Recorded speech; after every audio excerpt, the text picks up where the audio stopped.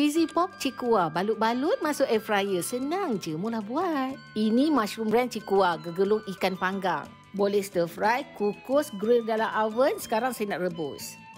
Dah 5 minit, angkat, sejukkan. Mozzarella cheese ni masukkan ke dalam cikua yang kita dah rebus tadi. Potong 6 kulit popia, lipat, sumbatkan kiri dan kanan cikua tu supaya cheese tak keluar bila kita masuk dalam air fryer nanti.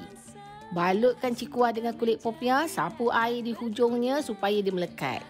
Buat sampai habis, kulit popia tu sapu sikit minyak.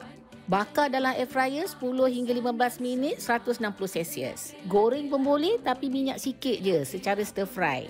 Pipingkan dengan chili sauce dan mayonis, piping cantik-cantik. Nanti sonok lah anak kita tu. Hidangkan semasa panas-panas, masa makan tu barulah terjadinya cheese tarik macam ni ha. Siap boleh pusing-pusing lagi tapi koma jangan suka pusingkan kepala mak bapak.